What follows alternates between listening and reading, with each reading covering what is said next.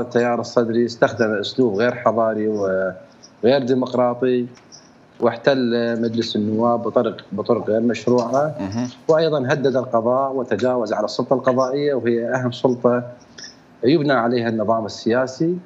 وما زالت هذه التجاوزات مستمرة.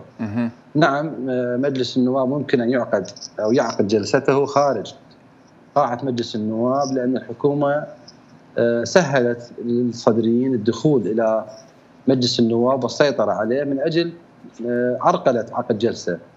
الحكومة مستفيدة من هذا هذه العرقلة طالت عمرها